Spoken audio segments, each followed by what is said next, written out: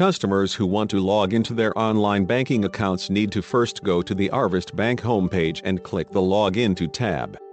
This opens a drop-down window where customers need to click on Arvest Online Banking. When directed to a new page, customers need to type in their online ID before clicking the Login button.